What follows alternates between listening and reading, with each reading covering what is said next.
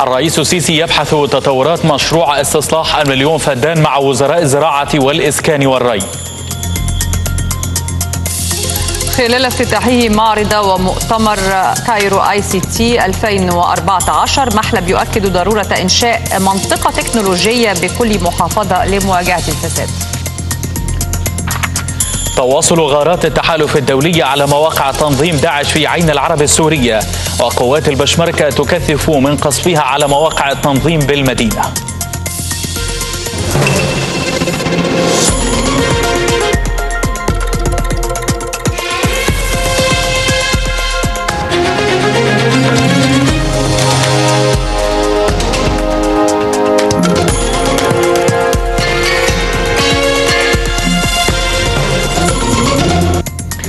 السيدات والسادة تحية لحضراتكم الثامنة مساء في القاهرة. نشرة إخبارية مفصلة.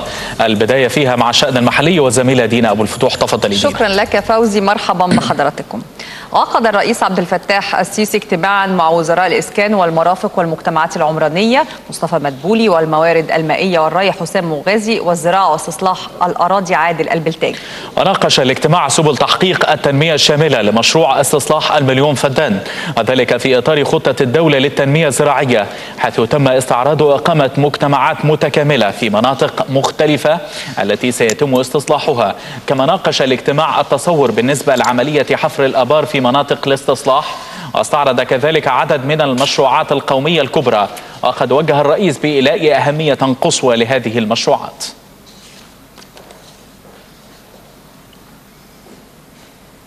أكد القائد العام وزير الدفاع والإنتاج الحربي الفريق أول صدقي صبحي أن القوات المسلحة كانت وستظل عند حسن ظن الشعب بها قوية وقادرة على حماية الأمن القومي المصري والتصدي لكل من تسول له نفسه المساسة بمقدرات ومكتسبات الشعب المصري.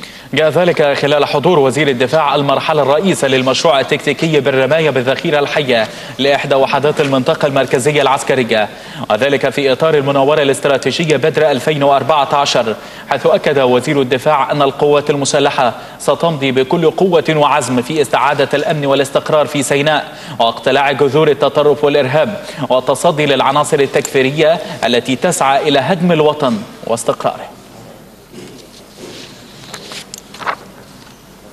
للمزيد من المتابعة ينضم إلينا عبر الهاتف من العريش مصطفى عبد الفتاح مراسل النيل. مصطفى تحياتي. أولا أبرز ما لديك عن تطورات الحالة الأمنية؟ يعني بالنسبة للحاله الأمنية هنا في محافظة شمال سيناء وتحديدا في مدن العريش والشيخ زويد ورفح ما زالت القوات المسلحة تقوم بعمليات المداهمة والتمشيط للبحث والقبض على العناصر الإجرامية الموجودة بهذه المنطقة. هذا فيما يطبق حظر التجوال الذي يبدأ في تمام الساعة الخامسة وحتى تمام الساعة السابعة من صباح اليوم التالي في المنطقة الواقعة للحظر وهي من غرب مدينة العريش وحتى شرق مدينة رفح, رفح المدينة الحدودية. حظر التجوال يطبق بمنتهى الدقة والحزم من قبل القوات المسلحة كما أن هناك أيضا التزام تام من جميع سكان المدن الثلاث لقرارات القوات المسلحة والقوات الأمنية الموجودة في هذه المنطقة وهناك تعاون في من الأهالي للقوات الموجودة. بالنسبة لعملية تشريط نقل السكان من المنطقة الحدودية وتحديدا في الشريط الحدودي ما زالت العمليات تجرى على قدم وساق، القوات المسلحة تقوم حتى الآن بإخلاء المنازل المعوضة من قبل السكان وذلك بعد قرارات بعد قرار اللجنة الفنية من المحافظة التي تقوم بتقدير وحصر المنازل وعمل تقدير مناسب للتعويضات اللازمة وبعد ذلك تقوم القوات بهدم هذه المنازل. هناك أعداد كبيرة من الأهالي استلموا بالفعل الشيكات التعويضية وإن كانت هناك بعض التعليقات والملاحظات لدى سكان منطقة رفح كعدادات الكهرباء الكهرباء الموجودة في هذه المنطقة ونقل هذه العدادات إلى أماكن أخرى وبعد ذلك قررت اللجنة الفنية الموجودة تجنبا للمشاكل التي قدمت من الأهالي بتعويض أصحاب المنازل عن قيمة العداد حتى يتسنى لهم التقديم على عدادات أخرى في المناطق التي سيسكنوا فيها خلف المنطقة الحدودية. فيما عدا ذلك فهناك بالإضافة أيضا إلى العمليات التي تقوم بها القوات المسلحة من ضبط واكتشاف وتدمير مجموعة من الأنفاق كان آخرها اليوم اكتشاف نفقين جديدين بمنطقة الشريط الحدودي قامت القوات المسلحة بتدميرهما تماما. أشكرك من العريش مراسل النيل الزميل مصطفى عبد الفتاح شكرا جزيلا. وللمزيد من المتابعة ينضم إلينا عبر الهاتف اللواء الدكتور طلعت مصطفى المستشار بأكاديمية ناصر العسكرية. سيادة اللواء بعد التحية لحضرتك كيف ترى سير المناورة بدر 2014 أهلا وسهلا. واسمح لي بس اصحح الاسم. اللي هو الدكتور طلعت موسى وليس طلعت موسى. طلعت طلعت موسى. عفوا يا سيدي. عفوا سيدي. عفوا. عفوا, عفوا. آه هذه المناورة الاستراتيجية التي حضرها القائد الأعلى للقوات المسلحة رئيس الجمهورية. هي تمثل أعلى مستويات التدريب القتالي في القوات المسلحة وهي توجه رسالتين رسالة للداخل ورسالة للخارج. أما الرسالة التي للداخل فهي لاطمئنان شعب مصر على قواتهم المسلحة. وأن القوات المسلحة بما بالرغم مما تقوم به من مهام حماية الجبهة الداخلية في إطار الأمن الوطني المصري وهو القضاء على الإرهاب في سيناء وفي باقي محافظات الجمهورية والقيام بتأمين الأهداف الحيوية وحمايتها الأهداف الحيوية في الدولة. الا انها لم تنسى واجبها الرئيسي وهو حماية حدود الدولة ضد التهديدات الخارجية. ومن هنا كانت هذه المناورة الكبيرة الاستراتيجية بدر 2014 نعم. التي تشترك فيها القوات الجوية والبحرية وقوات الدفاع الجوي والقوات الأرضية على جميع الجبهات بيشترك فيها هيئات وإدارات القوات المسلحة الجيش الثاني والجيش الثالث وقيادات المناطق العسكرية وبتنفذ فيها أعلى وأرقى مستوى من التدريب خلاصة التدريب من العام التدريبي اللي فات علاوة على خلاصة التدريب مع التشكيلات والوحدات في الجيوش الأجنبية أيضا. مهارات اللي اكتسبتها من التدريب مع الجيوش الأجنبية زي المناورة تبوك ثلاثة مع القوات السعودية المناورة زايد واحد وخليفة واحد مع قوات الإمارات الإمارات. المناورة مع القوات الفرنسية في المياه الفرنسية أيضا. كل دي مهارات مكتسبة اجتمعت مع التدريب الخاص في القوات المسلحة المصرية. وبينفذوا هذه المناورة نعم. طيب. سيادة اللواء يعني حضرتك سيادة اللواء طلعت موسى حضرتك عايز تقول بأن هناك رسائل كثيرة بيراد توجيهها من خلال هذه المناورة. السؤال اللي بيطرح نفسه على الأرض كيف يمكن أن تسهم مثل هذه المناورات يعني في الواقع في التصدي للأعمال الإرهابية التي نشهدها الآن؟ طبعا هذه المناورات بتوجه إنذار باعتبار إن المعركة نفس موضوع المناورة نفسه بينقسم لمرحلتين مرحلة اسمها الفتح الاستراتيجي وهو تحرك القوات إلى المناطق على الجبهات الاستراتيجية للدولة لتنفيذ مهامها من المناطق اللي هتنفذ فيها المهام. المرحلة الثانية إدارة معركة دفاعية عن حدود الدولة. حدود الدولة ضد أي وهذه المعركة ما تمت النهاردة أحد صورها من الإبرار الجوي والإبرار البحري والإسقاط بالمظلات والمفارز الميكانيكية والمشاة الميكانيكية وإلى إلى آخر والقوات الجوية. بكل الكلام ده بحيث بتحيل هذه المناورة تحيل حدود مصر الجغرافية وسواحل مصر إلى حائط منيع قوي ضد أي تهديدات وتحديات خارجية وأعمال تسلل الإرهابية اللي بتيجي من جميع الاتجاهات الاستراتيجية. هذا إنذار لهم. والضربات الاستباقية واللي بتقوم بها القوات المسلحة في هذا الوقت الحالي وإعلان تنظيم المقدس اليوم أنها تنضم إلى داعش نعم. هو خير دليل على نجاح القوات المسلحة المصرية في إبادة بيت المقدس من سيناء وفروا كالجرذان في جبال سيناء وبيطلبوا دلوقتي ده ليه معنى كبير قوي هذا المعنى إن جماعة بيت المقدس بدأت تنحل وتندثر وبتطلب حماية وتستظل بمن هو أقوى منها. من يقوم بعمليات التخطيط ويرعاهم وهو داعش في نظر- في نظرهم. نعم الصورة اتضحت لنا الآن. كنت معنا عبر الهاتف الهاتف سيادة اللواء الدكتور طلعت موسى المستشار بأكاديمية ناصر العسكرية. شكرا جزيلا على هذه المتابعة من حضرتك. شدد رئيس مجلس الوزراء المهندس إبراهيم محلب على ضرورة إنشاء منطقة تكنولوجية بكل محافظة إضافة إلى تحسين منظومة مراكز المعلومات في القرى والنجوع في إطار مواجهة الفساد.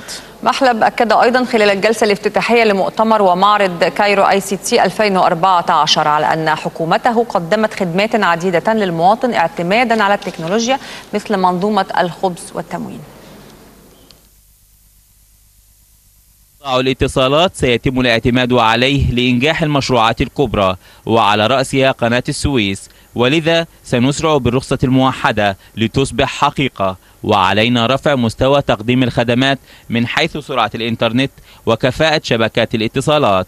بهذه الكلمات أكد رئيس مجلس الوزراء المهندس إبراهيم محلب على أهمية دور الاتصالات في التنمية وذلك خلال افتتاحه فعاليات الدورة الثامنة عشر لمعرض القاهرة ICT 2014 والتي تعقد هذا العام تحت شعار في قلب المستقبل. قطاع الاتصالات سيكون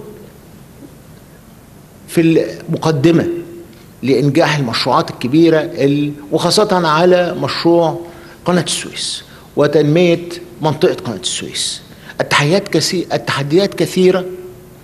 الواقع أيضا يجب فعلا إن إحنا نواجهه بصراحة وإن إحنا فعلا نسرع بالشبكة الرابعة الرخصة الموحدة تصبح حقيقة. يشارك في المعرض أكثر من 500 شركة عالمية ومحلية علاوة على مشاركة شركات عالمية لأول مرة في المعرض. وتم اختيار دولة الإمارات العربية المتحدة ضيف شرف دورة هذا العام تكريما لموقفها الداعم لمصر بالإضافة إلى دورها الهام في المنطقة وتقدمها التكنولوجي الملموس. ما زلنا إحنا الدولة الأولى في منطقة الشرق الأوسط وأفريقيا وأوروبا في تصدير خدمات الاتصالات وتكنولوجيا المعلومات وهو الذي يعتمد بالأساس على طاقات شبابنا الواعد وفي نفس الوقت يعتمد على أسس نجاح استطعنا أن نتوصل إلى هذه الأسس بالخبرات المكتسبة في خلال السنوات السابقة ومع التركيز على الإبداع وريادة الأعمال. محلب شهد أثناء المعرض مراسم توقيع مذكرة تفاهم بين وزارة الاتصالات ووزارة البحث العلمي وجامعة القاهرة وجهاز الخدمة الوطنية بالقوات المسلحة وذلك لإنشاء مجمع التمييز للابتكار وريادة الأعمال والصناعات الإلكترونية في المنطقة الاستثمارية التكنولوجية بالمعادي. منذر أبو دوح النيل. أكد الفريق مهاب مبيش رئيس هيئة قناة السويس أن الكراكات الخاصة بتحالف التحدي بدأت في الوصول لتأدية مهام عملها طبقا للجدول المحدد لها فضلا عن عمل كراكات هيئة قناة السويس وأضاف مميش أن القطاع الأوسط بقناة السويس الجديدة الخاص بتحالف التحدي ستعمل به 22 كراكة وفي القطاع الجنوبي ثمان كراكات. ووجه مميش الشكر لجهود القوات المسلحة بعد أن وصلوا في عمليات الحفر إلى ما يقرب من 90 مليون كيلومتر. وأشار إلى أنه هناك نمو دائم في عائدات قناة السويس بفضل إخلاص جميع العاملين بالهيئة العامة لقناة السويس وعمليات التأمين التي تقوم بها القوات المسلحة والأمن الداخلي الذي يؤمن القناة بحرا وجوا.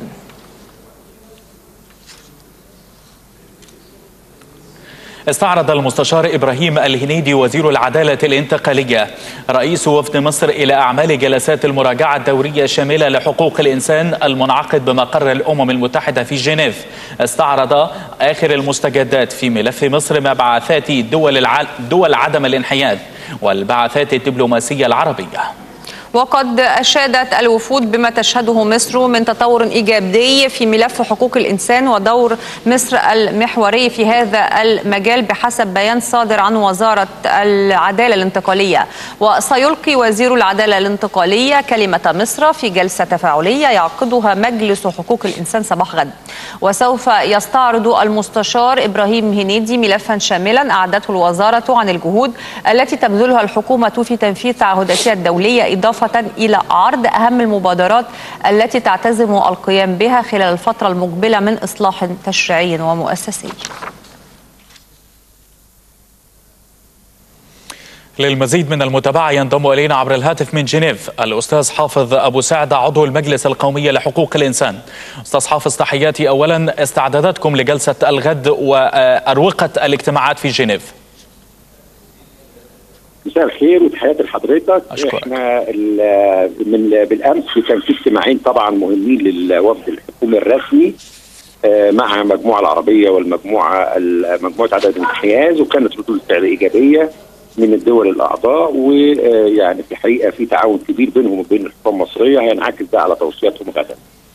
آه، لكن متوقع أيضا نقد من بعض ال- الوفود الأوروبية لبعض النقاط ولكن أعتقد أن وزارة العداله الانتقالية هتقدر ترد على هذا آه، الكلام لا سيما وانها تعتمد على دستور مهم آه، تبنى قضايا حقوق الإنسان بشكل جيد. على مستوى المجلس القومي لحقوق الإنسان إحنا عملنا مؤتمر صحفي النهارده صباحا. شرحنا فيه ال- ال- التقرير اللي المجلس أعده والنقاط اللي إحنا آه، آه، ننتوي أن نعمل فيها آه، مع الحكومة بشكل آه، آه، فعال لتعديل التشريعات والقوانين كي تتفق مع الدستور المصري اللي هو يعتبر أهم الوثائق الحديثة في مصر في مجال احترام حقوق الإنسان.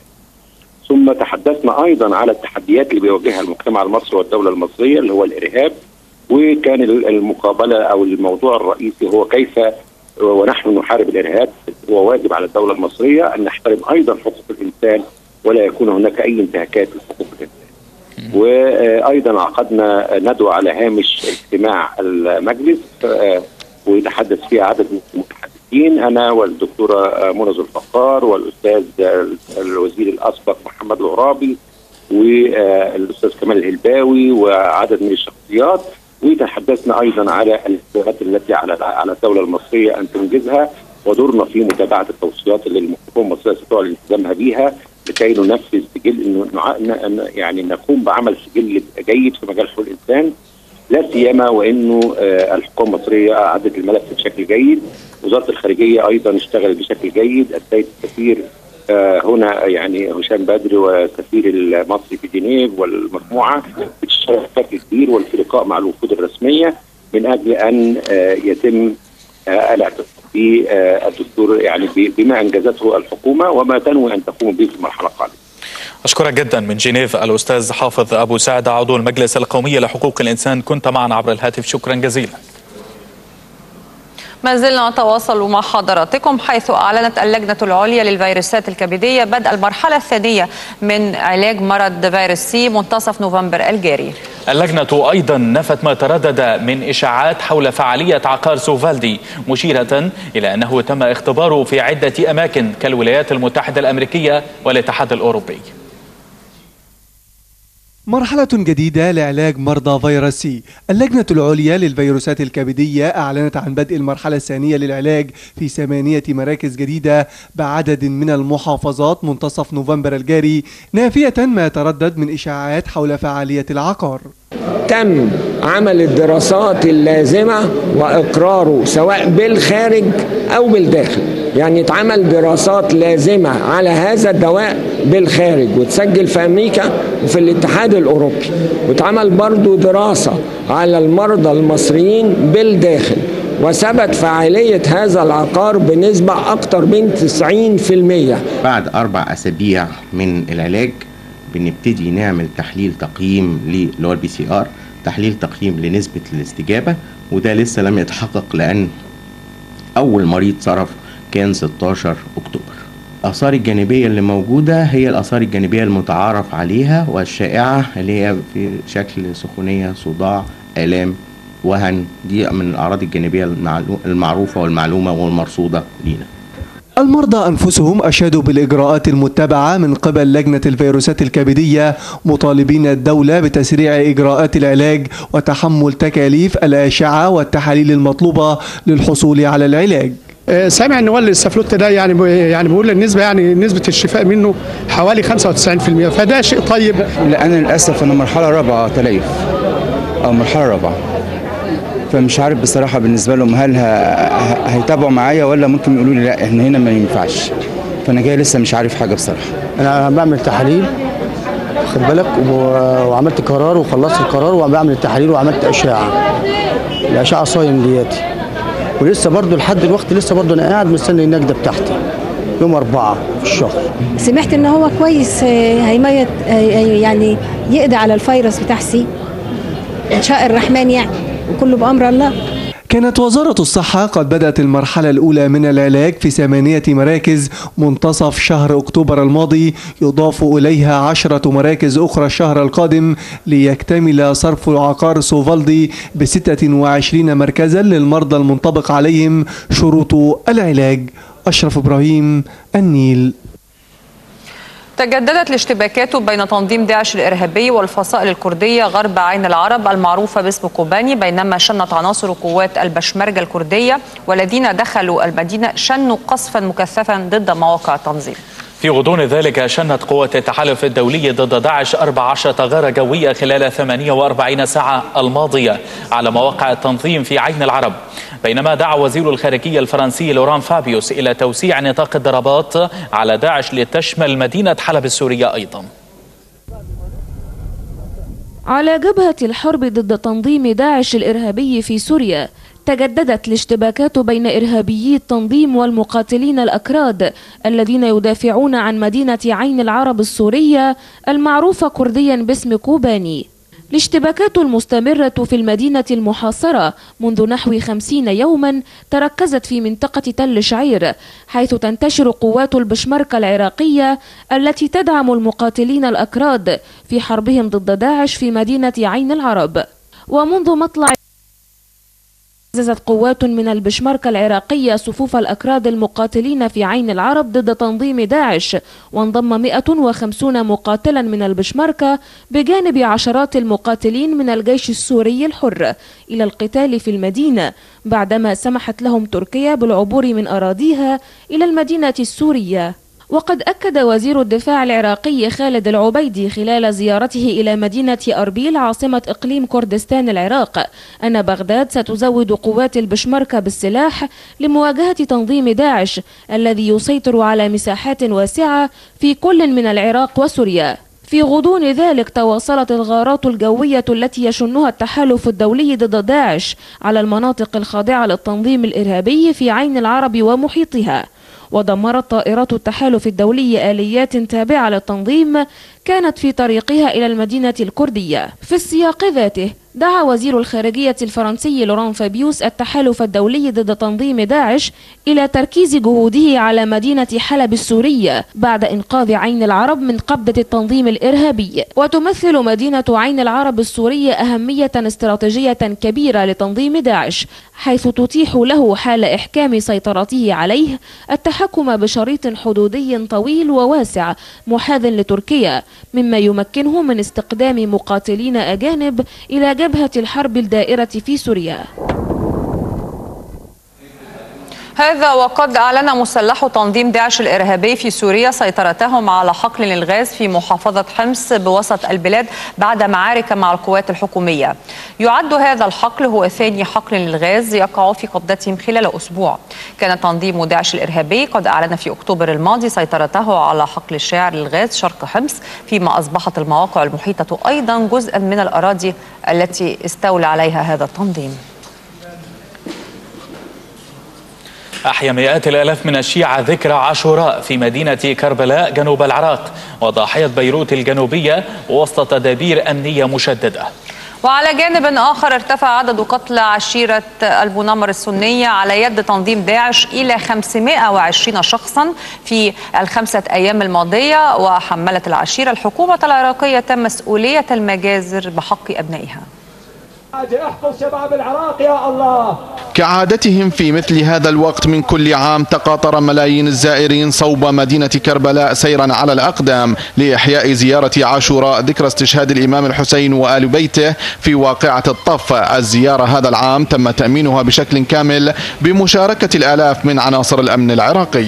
طبعا هذه المراسم هي موجودة منذ الأزل يعني مو اليوم والبارحة هذه المراسم هي إحياء استشهاد أبي عبد الله الحسين وأخي بن الفضل وإحياء معركة الطف وإحياء وإحياء الإنسانية بأكملها نقيم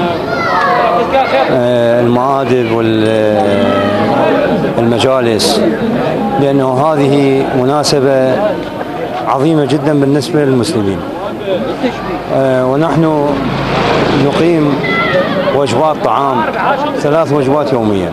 وفي الوقت الذي انشغل فيه الآلاف من عناصر الأمن في تأمين زيارة عاشوراء لم يغفل آخرون المعركة ضد داعش خصوصا في محافظة الأنبار التي انطلقت فيها عملية تحرير مدينة هيت وطرد عناصر التنظيم من القضاء سيما في عملية الثأر لضحايا عشيرة البونمر والذين أعدم منهم حتى الساعة أكثر من 520 شخصا رميا بالرصاص على يد مسلحي داعش. نحن نحيي هذه العشائر ووثبتها وموقفها.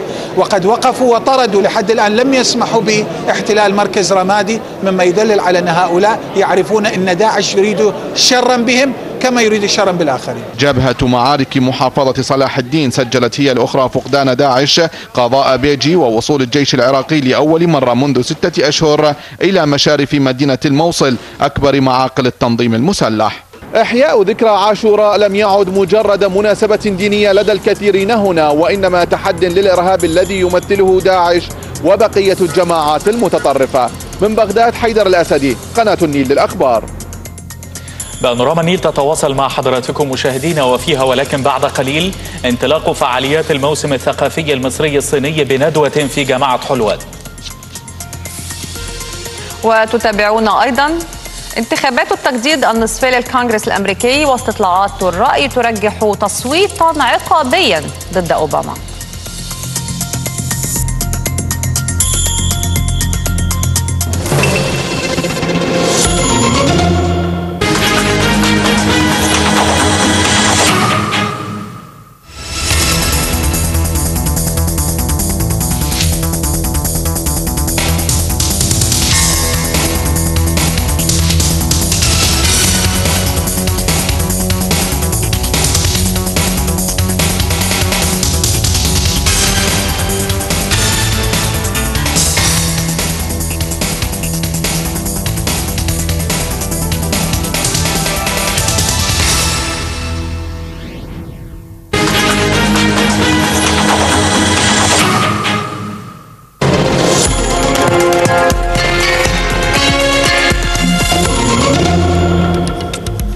باقون مع حضراتكم مشاهدينا ولكن في مجموعة من الأنباء الاقتصادية بصحبة الأمير داود إليك أمير ومرحبا شكرا لك. شكرا فوزي أهلا بكم مشاهدينا الكرام في وقفتنا الاقتصادية وأبرز ما نتابع فيها. شركات مصرية تتفق على استثمار ملياري جنيه في توصيل الغاز الطبيعي لأكثر من مليونين ونصف المليون وحدة سكنية في غضون ثلاثة أعوام.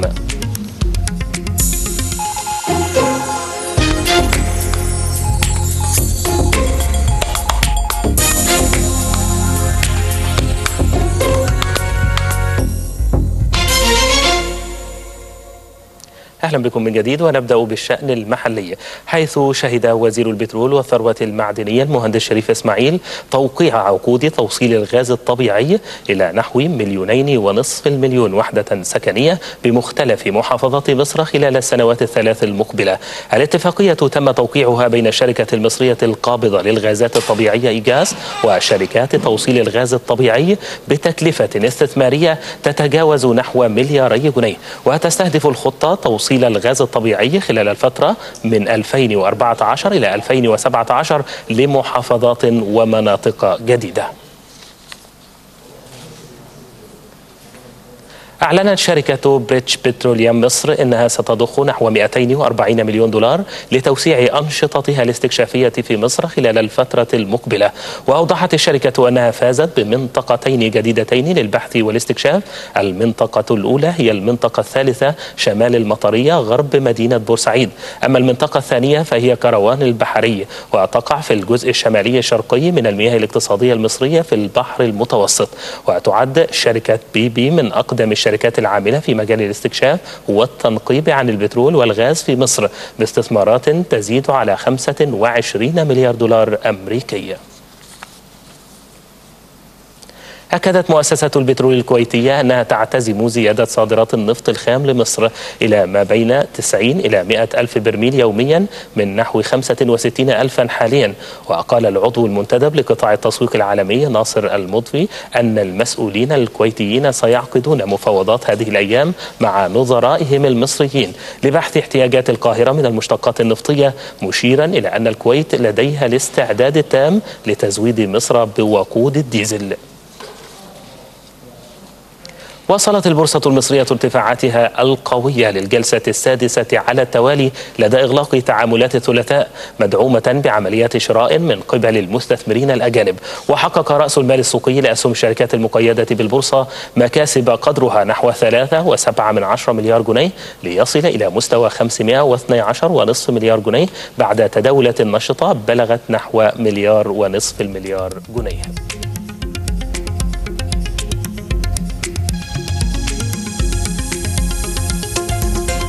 أكد الدكتور عادل البلتاجي وزير الزراعة واستصلاح الأراضي أنه تم وضع نظام محكم بمختلف المديريات الزراعية بالمحافظات لتوزيع الأسمدة لمنع تسريبها إلى السوق السوداء. وقال البلتاجي أنه تقرر صرف حصص الفلاحين من الأسمدة بالكامل لافتا إلى أن وزارته قد رفضت محاولة شركات الإنتاج في زيادة الأسعار بنحو 500 جنيه للطن عن الأسعار الأخيرة لتصل إلى 2500 جنيه بدلا من 2000 جنيه التي تم الاتفاق عليها. عليها. وكان وزير الزراعة قد قرر حظر نقل وتداول الأسمدة بين المحافظات إلا بتصريح من وزارة الزراعة للسيطرة على تجارة السوق السوداء.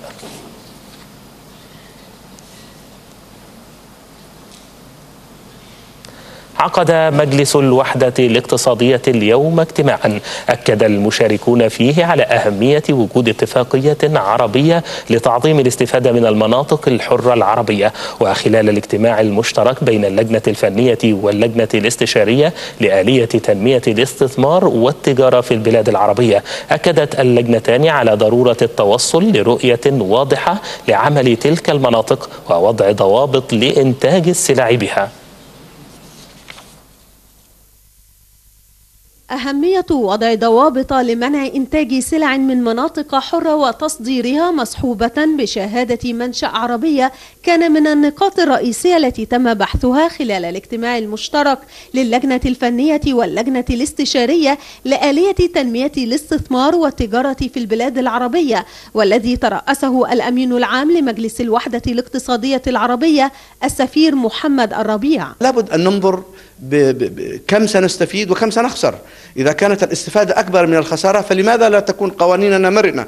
تتعاطى مع تنمية الموارد وتنمية الثقة المستثمرين في قوانين الاستثمار وقوانين المناطق الحرة. وقد تم خلال الاجتماع دراسة وضع اتفاقية عربية لتعظيم الاستفادة من المناطق الحرة العربية وتعزيز الشراكة الاستراتيجية بينها في ضوء أحكام اتفاقية منطقة التجارة الحرة العربية الكبرى. محاولة إيجاد نوع من التنسيق ما بين المطالب الإقليمية للدول العربية في التنمية وفي الاستثمار وتحقيق التكامل العربي فيما بينها وبين دورها العالمي من حيث إنها في نفس الوقت تقدر تقوم بدور في إطار الاقتصاد العالمي ككل وتقدم في هذا الإطار كل احتياجاته من شروط اللي يضعها لتنسيق التجاره العالميه وتنسيق التجاره الاقليميه في الوقت نفسه. وقد دعا المشاركون بالاجتماع إلى أن تقوم الدول العربية إلى جانب تطوير المناطق الحرة بها إلى إنشاء مناطق استثمارية في مختلف المجالات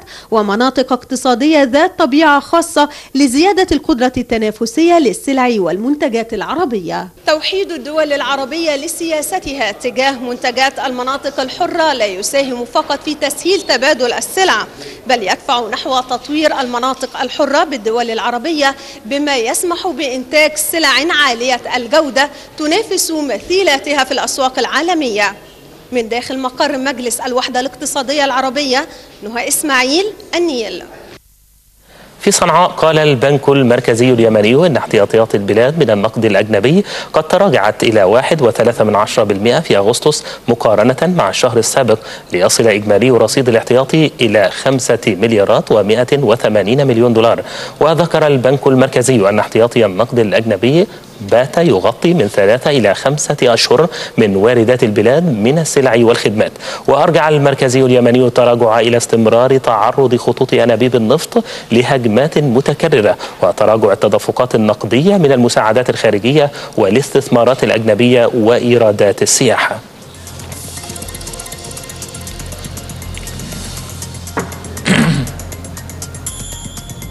ختام هذه الوقفة الاقتصادية وعودة من جديد إلى الزملاء دينا أبو الفتوح وفوزي جد الله واستكمال البانوراما. شكرا لك أمير وما زلنا نتواصل مع حضراتكم وهذه وقفة مع عناوين الأخبار. الرئيس السيسي يبحث تطورات مشروع استصلاح المليون فدان مع وزراء الزراعة والإسكان والري. خلال افتتاح معرض ومؤتمر Cairo ICT 2014 محلب يؤكد ضرورة إنشاء منطقة تكنولوجية بكل محافظة لمواجهة الفساد. تواصل غارات التحالف الدولية على مواقع تنظيم داعش في عين العرب السورية وقوات البشمركة تكثف من قصفها على مواقع التنظيم بالمدينة. أهلا بكم من جديد. في إطار تعزيز العلاقات المصرية الصينية افتتح رئيس جامعة حلوان ياسر صقر والوزير التجاري الصيني المفوض هان بينغ والمدير الأسبق لمكتب الجامعة العربية في بكين السفير عبد الوهاب الساكت افتتحوا جميعا الموسم الثقافي الصيني المصري بندوة ثقافية في جامعة حلوان. وقد استعرض ممثلو الدولتين مستقبل العلاقات الاقتصادية والثقافية بين مصر والصين وتبادل الثقافات من خلال دورات التعليم للغات الصينية والعربية لطلاب الجامعات من الدولتين. تحت شعار رؤية مستقبلية للعلاقات التجارية المصرية الصينية افتتح مركز البحوث والدراسات الصينية المصرية بجامعة حلوان وبالتعاون مع المكتب التجاري الاقتصادي لسفارة جمهورية الصين الشعبية بالقاهرة الموسم الثقافي الصيني المصري بندوة بمقر كلية التجارة وإدارة الأعمال. الندوة تقام على هامش اللقاء الرابع الثقافي المصري الصيني اللي هو بيمثله جامعة حلوان. وبنظمه المركز الصيني في جامعة حلوان اللي هو الوحيد من نوعه في مصر وفي الشرق الأوسط. آه آه ونظم قبل كده مؤتمرين دوليين.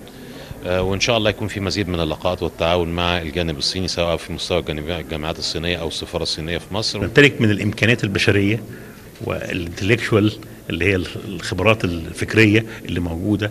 بما تسمح لنا إن إحنا نكون مركز استشارات ليهم بيت خبرة تقديم الاستشارات في ما يصبو ليهم سواء الجانب المصري أو الجانب الصيني في حجم هذه الاستثمارات عرضت الندوة مراحل تطور العلاقات الاقتصادية بين مصر والصين ونسبة العجز في الميزان التجاري في الاقتصاد المصري ومشكلة جودة المنتجات المستوردة من الصين. وحركة الاستثمار الصيني داخل مصر والدور الذي يمكن أن يلعبه المركز الصيني بما يدعم الاقتصاد المصري في علاقته بالصين لا سيما مع توجه السياسة في مصر إلى الاهتمام بملف الصين وإنشاء وحدة للصين بمجلس الوزراء المصري China-Egypt Economic Cooperation. التعاون الاقتصادي مع مصر تطور كثيرا في الفترة الأخيرة ولدينا استثمارات مشتركة بحوالي عشرة ملايين دولار. وأتوقع زيادة مجالات التعاون في الفترة القادمة خاصة مع زيادة الاستقرار الذي تشهده مصر حاليا. بلغت الصادرات المصرية العام الماضي إلى الصين حوالي 1.9 من عشرة مليار دولار منها نحو 1.4 من عشرة مليار دولار منتجات بترولية. وتولي الحكومة اهتماما خاصا بالاستثمارات الصينية وتسعى لتذليل كافة العقبات التي تواجه المستثمرين الصينيين بالسوق المحلية. شذا مجدي النيل. نظم معهد الإذاعة والتلفزيون مؤتمرا تحت رعاية اتحاد الإذاعة والتلفزيون. وبالتنسيق والتعاون مع مؤسسة فريدريش المؤتمر تحت عنوان المجلس الأعلى لتنظيم الإعلام تجارب عالمية ورؤى مصرية. شهد المؤتمر حضور نخبة من الشخصيات العامة وخبراء الإعلام والأكاديميين الذين ناقشوا في عدد من الجلسات مجالس تنظيم الإعلام واختصاصاتها وموارد تمويلها والتشريعات المنظمة لها. الحوار المنظم والفعال الذي يشارك فيه كل المهمومين وكل العاملين بالإعلام المسموع والمرئي في حاضره الراهن ومستقبله المأمول هو القادر على دفع التفكير الجمعي إلى الأمام والاستفادة من التجارب الأخرى بصورة منهجية وعملية. من أجل ذلك نظم معهد الإذاعة والتلفزيون مؤتمرا بالتعاون مع مؤسسة فريدريش ناومان بعنوان المجلس الأعلى لتنظيم الإعلام. تجارب عالمية رؤى مصرية. Um, مصر تعد مصدرا هاما وجاذبا لعدد كبير من المعاهد والمنظمات في مجال الإعلام.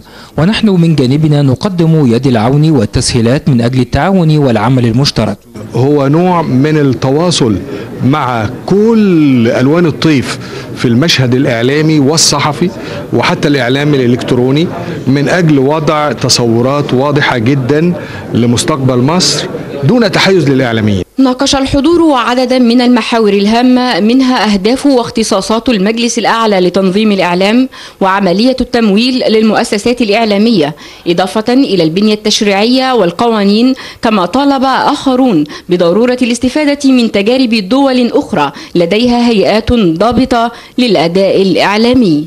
هذا المؤتمر بيبحث كيفية إنشاء الهيئة الضابطة الكبيرة التي ستقوم بالإشراف على صناعة الإعلام في مصر بشقائها سواء كان المطبوع أو كان المسموع المرئي وأيضا وسائل الإعلام الإلكترونية. كيف نشكل هذه الهيئة؟ كيف نضمن استقلاليتها هذا المؤتمر يطرح مبادرة حول المجلس الأعلى لتنظيم الإعلام من أجل التوصل إلى أفكار مشتركة ورؤية توافقية لمشروع يطرح على الإعلاميين.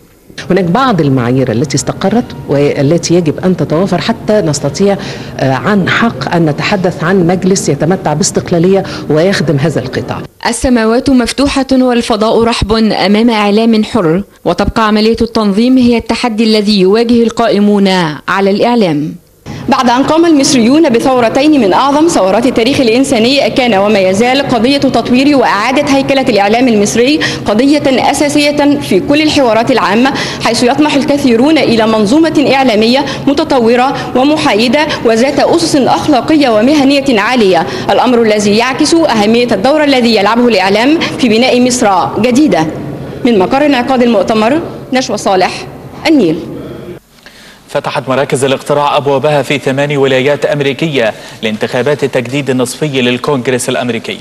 فتحت مراكز الاقتراع في ولايات منها مين ونيوجيرسي ونيويورك وفرجينيا وإنديانا وكنتاكي. ويلي فتحها مراكز الاقتراع في بقية أنحاء البلاد وفقا لفرق التوقيت. وسيتم في هذه الانتخابات تجديد كل مقاعد مجلس النواب و36 مقعدا من أصل 100 في مجالس الشيوخ و36 من حكام الولايات. ترجح استطلاعات الرأي أن يتقدم الجمهوريون لتعزيز موقعهم في مجلس النواب وينتزعوا الأغلبية في مجلس الشيوخ من الديمقراطيين. ست سنوات مرت على انتخاب الرئيس الأمريكي باراك أوباما وإدارته. ست أعوام من الانتصارات والإخفاقات والتحديات التي تتلخص نتائجها في انتخابات التجديد النصفي للكونغرس. المؤشرات والدلائل ترجح كافة تراجع حزب أوباما الديمقراطي وهيمنة الجمهوريين على مقاعد الكونغرس. أغلب استطلاعات الرأي التي أجريت مؤخرا تؤكد عدم رضا المواطن الأمريكي عن الكونغرس الحالي وأدائه في إشارة واضحة لحالة اليأس التي تنتاب الأمريكيين إزاء إحساسهم بعدم الإنجاز. هذه العوامل قد تؤدي في النهاية إلى سيطرة المزاج المناهض والعدائي للأعضاء الحاليين في الكونغرس. ويخشى الديمقراطيون أمرا يشبه التصويت العقابي لحزب الرئيس بترجيح كفة الجمهوريين حيث أدى فشل إدارته في معالجة عدة ملفات في الداخل الأمريكي إلى تدهور شعبيته إلى حد غير مسبوق. ويستغل الجمهوريون إخفاقات إدارة أوباما وحالة عدم الرضا في المجتمع الأمريكي في الترويج لأنفسهم وإبراز هذه الإخفاقات كمادة معادية ضد أوباما وحزبه الديمقراطي وفي مقدمتها قانون الرعاية الصحية المعروف بقانون أوباما كير والذي يعتبر في نظر الجمهوريين رمزا للمبالغة في الإنفاق ويطالبون دوما بإلغائه نظرا لما يكبده لموازنة الدولة. ثمة قضايا مركزية تتصل بالسياسات الخارجية الأمريكية وفي مقدمتها التصدي لتنظيم داعش وانتشار فيروس إيبولا والتدخل الروسي في أوكرانيا ووقف إطلاق النار في غزة وغيرها من القضايا التي يستغلها مرشح الحزب الجمهوري ضد الحزب الديمقراطي. كل هذه الأمور تجعل انتخابات التجديد النصفي للكونغرس الأمريكي هذا العام تأخذ شكلا مغايرا عن سابقتها التي جاءت فيها القضايا الاقتصادية على رأس أولويات الأمريكيين في استطلاعات الرأي التي أجريت قبل أربع سنوات. كما كشفت استطلاعات الرأي الأخيرة عن رغبة الناخب الأمريكي في اتخاذ موقفا أكثر حزما تجاه القضايا السياسية الخارجية. وأهمها مواجهة تنظيم داعش حيث عاد ملف الحرب على الإرهاب ليفرض نفسه من جديد على جدول أولويات الكثير من المتنافسين في الانتخابات لدى الحزبين. أعلن مسؤول ليبي إغلاق السلطات الليبية المرفأ التجاري في بنغازي بسبب الاشتباكات الدائرة هناك بين الجيش الليبي وميليشيات مسلحة في محاولة من الجيش لاستعادة السيطرة عليه بينما أحكم سيطرته على ضواحي بنغازي. من جانبه قال رئيس الحكومة المؤقتة عبد الله الثني إن ليبيا تمر الآن بمرحلة مفصلية وإن هناك أطرافا يحاولون الاستيلاء على السلطة في البلاد مؤكدا رفض الحكومة القاطع للجوء العنف والقتال للوصول للسلطة. تزامنا ارتفع عدد القتلى منذ بدء الاشتباكات المسلحة بمدينة ككلا غرب العاصمة طرابلس بين قوات الجيش الليبي وفجر ليبيا إلى 142 قتيلا و518 جريحا.